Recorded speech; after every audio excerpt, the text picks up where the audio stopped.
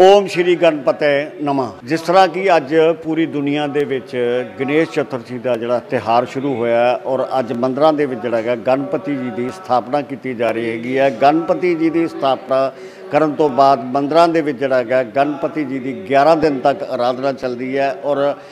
ਕੁਝ ਲੋਕ ਜਿਹੜਾ ਹੈਗਾ ਅ, 31 ਦਸ- ਅਗਸਤ ਨੂੰ ਜਿਹੜਾ ਹੈਗਾ ਇਹਦਾ ਵਿਸਰਜਨ ਕਰਨਗੇ ਔਰ ਕੁਝ ਲੋਕ ਜਿਹੜੇ ਹੈਗੇ ਨੇ ਉਹ 2 ਤਰੀਕ ਨੂੰ ਵਿਸਰਜਨ ਕਰਨਗੇ ਕਿਉਂਕਿ ਦੋ ਤਿਥੀਆਂ ਐਤਕੀ ਅ, ਜੋ ਪੰਡਤ ਜੀ ਦੱਸ ਰਹੇ ਨੇ ਜਾਂ ਮਹਾਪੁਰਸ਼ ਦੱਸ ਰਹੇ ਨੇ ਵੀ ਦੋ ਤਿਥੀਆਂ ਨਿਕਲੀਆਂ ਗਈਆਂ ਨੇ। ਮੈਂ ਤੁਹਾਨੂੰ ਇਸ ਵੇਲੇ ਲੈ ਕੇ ਆਇਆ ਮੋਗਾ ਦੇ ਇੱਕ ਮੰਦਿਰ ਦੇ ਵਿੱਚ ਤੇ ਤੁਹਾਨੂੰ ਮੈਂ ਤਸਵੀਰਾਂ ਦੇ ਵਿੱਚ ਦਿਖਾ ਰਿਹਾ ਕਿ ਇਸ ਵੇਲੇ ਜਿਹੜਾ ਹੈਗਾ ਗਣਪਤੀ ਜੀ ਦੀ ਜਿਹੜੀ ਹੈਗੀ ਆ ਮੂਰਤੀ ਦੀ ਜਿਹੜੀ ਹੈਗੀ ਆ ਸਥਾਪਨਾ ਕੀਤੀ ਜਾ ਰਹੀ ਹੈ। ਪੂਜਾ ਅਰਚਨਾ ਕੀਤੀ ਜਾ ਰਹੀ ਹੈਗੀ ਆ। ਭਗਤ ਜਨ ਜਿਹੜੇ ਆਏ ਨੇ ਔਰ ਜੋ ਪੂਜਾ ਅਰਚਨਾ ਦੇ ਵਿੱਚ ਪਰਿਵਾਰ ਬੈਠਾ ਹੈਗਾ, ਪਰਿਵਾਰ ਦੇ ਸਦੱਸ ਆਏ ਨੇ, ਕਰ ਰਹੇ ਨੇ, ਪੂਜਾ ਕਰ ਰਹੇ ਨੇ। ਜਿਸ ਤਰੀਕੇ ਦੇ ਨਾਲ ਐਤਕੀ ਜਿਹੜਾ ਹੈਗਾ, ਕਰੋਨਾ ਮਹਾਮਾਰੀ ਦਾ ਬਹੁਤ ਵੱਡਾ ਜਿਹੜਾ ਪ੍ਰਕੋਪ ਚੱਲਿਆ ਹੋਇਆ, ਜਿਹਨੂੰ ਲੈ ਕੇ ਸਰਕਾਰਾਂ ਵੀ ਜਿਹੜੀਆਂ ਲਗਾਤਾਰ ਜਿਹੜੀਆਂ ਹੈਗੀਆਂ ਸੋਸ਼ਲ ਡਿਸਟੈਂਸ ਦੀਆਂ ਗੱਲਾਂ ਕਰ ਰਹੀਆਂ। ਜੇ ਮੈਂ ਇੱਥੇ ਦੀ ਗੱਲ ਕਰਾਂ, ਤਾਂ ਇੱਥੇ ਜਿਹੜਾ ਹੈਗਾ ਸੋਸ਼ਲ ਡਿਸਟੈਂਸ ਦਾ ਜਿਹੜਾ ਹੈਗਾ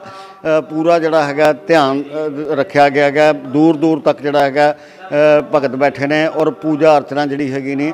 ਕਰ ਰਹੇ ਨੇ। ਗੱਲ ਵੀ ਕਰਾਂਗੇ ਪੰਡਿਤ ਦੇ ਨਾਲ ਤੇ ਉਹਨਾਂ ਨੂੰ ਪੁੱਛਾਂਗੇ ਕਿ ਕਿਸ ਤਰੀਕੇ ਦੇ ਨਾਲ ਜਿਹੜੀ ਅੱਜ ਇਹਦੀ ਆਰਾਧਨਾ ਸ਼ੁਰੂ ਹੋਈ ਹੈ, ਕੀ ਇਹਦਾ ਮਹੱਤਵ ਹੈ ਔਰ ਕਿੰਨੇ ਦਿਨ ਤੱਕ ਜਿਹੜੀ ਇਹਦੀ ਪੂਜਾ ਚੱਲਦੀ ਹੈ। ਹੁਣੇ ਮੈਂ ਤੁਹਾਨੂੰ ਦਿਖਾ ਰਿਹਾ ਸੀਗਾ ਤਸਵੀਰਾਂ ਦੇ ਵਿੱਚ ਕਿ ਇਸ ਵੇਲੇ ਜਿਹੜਾ ਗਣਪਤੀ ਜੀ ਦੀ ਸਥਾਪਨਾ ਕੀਤੀ ਗਈ ਹੈ, ਪੂਜਾ ਅਰਚਨਾ ਕੀਤੀ ਗਈ ਹੈ ਪੰਡਿਤ ਜੀ ਵੱਲੋਂ। ਗੱਲ ਵੀ ਕਰਦੇ ਪੰਡਿਤ ਜੀ ਨਾਲ ਤੇ ਸਭ ਤੋਂ ਪਹਿਲਾਂ ਪੁੱਛਦੇ ਹਾਂ ਪੰਡਿਤ ਜੀ ਨੂੰ, ਪੰਡਿਤ ਜੀ, ਅੱਜ ਦਾ ਜਿਹੜਾ ਮਹੱਤਵ ਹੈਗਾ,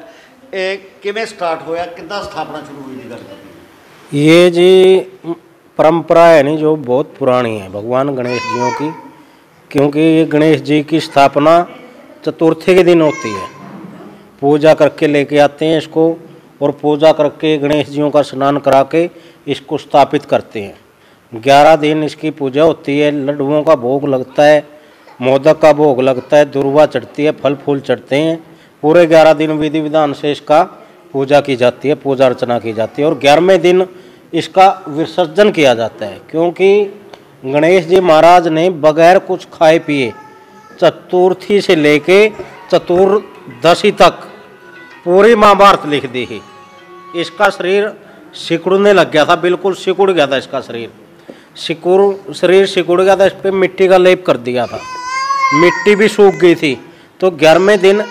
इसको जल प्रवाह कर दिया था, विसर्जन कर दिया है इसलिए ये गणेश चतुर्थी की परंपरा शुरू हुई थी, भगवान की पूजा हुई थी बोलेगा जनन भगवान की जय। ये भी एक परंपरा है, इसका भी महत्व है, क्योंकि ग्यारह दिन इसकी, जो ये ग्यारह दिन होते हैं, चतुर्थी से लेके चतुर्दशी तक, केवल भगवान गणपति की पूजा होती है इसमें। इसका स्नान कराया जाता है, पूजा की जाती है, हर रोज मोदक का लड्डू का भोग लगता है। ਮਹਾਰਾਸ਼ਟਰ ਦਾ ਤਿਉਹਾਰ ਹੈ ਔਰ ਇਸ ਵੇਲੇ ਜਿਹੜਾ ਹੈਗਾ ਪੂਰੇ ਹਿੰਦੁਸਤਾਨ ਦੇ ਵਿੱਚ ਜਿਹੜਾ ਨਹੀਂ ਆਪਾਂ ਕਹਿ ਸਕਦੇ ਤੇ ਵਿਦੇਸ਼ਾਂ ਦੇ ਵਿੱਚ ਵੀ ਜਿੱਥੇ ਜਿੱਥੇ ਹਿੰਦੁਸਤਾਨੀ ਬੈਠੇ ਨੇ। ਉਹ ਵੀ ਇਸ ਤਿਉਹਾਰ ਨੂੰ ਜਿਹੜਾ ਹੁਣ ਮੰਨਦੇ ਨੇ ਔਰ 11 ਦਿਨ ਤੱਕ ਜਿਹੜਾ ਹੈਗਾ ਲਗਾਤਾਰ ਗਣਪਤੀ ਜੀ ਦੀ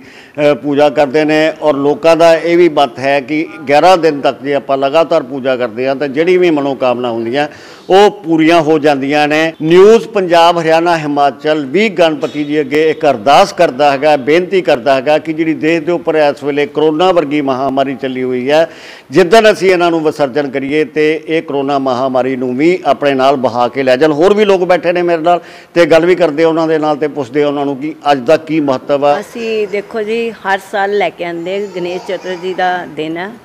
ਚੱਲ ਰਹੇ ਆ ਹਰ ਸਾਲ ਲੈ ਕੇ ਆਉਂਦੇ ਆ, ਹਰ ਸਾਲ ਵੱਡੇ ਲੈ ਕੇ ਆਉਂਦੇ ਆ, ਇਸ ਐਤਕੀ ਕਰੋਨਾ ਮਹਾਵਾਰੀ ਕਰਕੇ ਛੋਟੇ ਲੈ ਕੇ ਆਏ ਆ, ਵੀ ਮਹਾਰਾਜ ਅੱਗੇ ਤੋਂ ਸੁੱਖ ਸ਼ਾਂਤੀ ਰੱਖੇ ਤੇ ਹਰ ਸਾਲ ਵੱਡੇ ਲੈ ਕੇ ਆਈਏ, ਹਰ ਸਾਲ ਇਹਨਾਂ ਦੀ ਪੂਜਾ ਕਰੀਏ ਤੇ ਜਦੋਂ ਵੀ ਇਹਨਾਂ ਨੂੰ ਵਿਸਰਜਨ ਕਰੀਏ, ਇਹ ਆਪਣੀ ਬਿਮਾਰੀ ਨੂੰ ਨਾਲ ਲੈ ਕੇ ਜਾਣ ਬਸ ਸਾਰੀਆਂ ਮਨੋਕਾਮਨਾਵਾਂ ਪੂਰੀਆਂ ਕਰਨ ਤੇ ਸਭ ਦੇ ਮਹੱਲੇ 'ਚ ਸੁੱਖ ਸ਼ਾਂਤੀ ਵਰਸਾ ਕੇ ਜਾਣ यही कहना चाहते हैं कि गणपति उत्सव बड़ी सुख शांति के साथ मनाया जाएगा इसमें कोई कट नहीं किया जाएगा ये गणेश जी की आरती होगी सुबह शाम दोनों टाइम और कोई भजन कीर्तन नहीं किया जाएगा कोई आदमी इकट्ठे नहीं होंगे यहाँ पर किसी ज़्यादा भीड़ भाड़ नहीं की जाएगी बस यही कहना चाहते हैं गणपति उत्सव कि बहुत सुख शांति के साथ मनाया जाए ਇਹ ਸਾਨੂੰ ਕੁਝ ਲੋਕ ਜਿਨ੍ਹਾਂ ਨੇ ਦੱਸਿਆ ਕਿ ਗਣਪਤੀ ਜੀ ਦੀ ਜਿਹੜੀ ਸਥਾਪਨਾ ਕੀਤੀ ਗਈ ਹੈ, ਜਿਹੜੇ ਜਜਮਾਨ ਸੀ ਅੱਜ ਦੇ, ਜਿਨ੍ਹਾਂ ਨੇ ਪੂਜਾ ਅਰਚਨਾ ਕਰਵਾਈ, ਉਹਨਾਂ ਨਾਲ ਵੀ ਗੱਲ ਕਰਦੇ ਆ ਹਾਂਜੀ, ਕੀ ਕਹੋਗੇ ਤੁਸੀਂ ਅੱਜ ਜਿਹੜੀ ਪੂਜਾ ਅਰਚਨਾ ਕਰਵਾਈ ਹੈ ਜੀ ਇੱਥੇ? ਸਭ ਤੋਂ ਪਹਿਲਾਂ ਤਾਂ ਅਸੀਂ ਹਰ ਵਾਰੀ ਇਹਨੂੰ ਗਣਪਤੀ ਜੀ ਨੂੰ ਇੱਥੇ ਮੰਦਿਰ ਦੇ ਵਿੱਚ ਲੈ ਕੇ ਆਉਂਦੇ ਹੁੰਨੇ ਆ ਅੱਜ ਕੀ ਨੌਵੀਂ ਵਾਰ ਅਸੀਂ ਲੈ ਕੇ ਆਏ ਹੈਗੇ ਆ ਤੇ ਪੂਜਾ ਅਰਚਨਾ ਕੀਤੀ ਹੈਗੀ ਆ। ਹਰ ਵਾਰੀ ਅਸੀਂ ਤਕਰੀਬਨ 9 ਫੁੱਟ ਤੋਂ ਲੈ ਕੇ 9 ਤੋਂ 10 ਫੁੱਟ ਦੀ ਉੱਚੀ ਮੂਰਤੀ ਪ੍ਰਤਿਮਾ ਜਿਹੜੀ ਅਸੀਂ ਲੈ ਕੇ ਆਉਂਦੇ ਹੁੰਦੇ ਆ ਕਰੋਨਾ ਮਹਾਵਾਰ ਅ, ਮਹਾਮਾਰੀ ਦੇ ਕਾਰਨ ਅਸੀਂ ਇਹ ਐਤਕੀ 2 ਫੁੱਟ ਦੀ ਮੂਰਤੀ ਹੀ ਲੈ ਕੇ ਆਏ ਆ ਤੇ ਤੁਸੀਂ ਦੇਖ ਸਕਦੇ ਹੋ ਸੋਸ਼ਲ ਡਿਸਟੈਂਸ ਵਗੈਰਾ ਅਸੀਂ ਇਕੱਠ ਵਗੈਰਾ ਬਿਲਕੁਲ ਨਹੀਂ ਕੀਤਾ ਹੈਗਾ।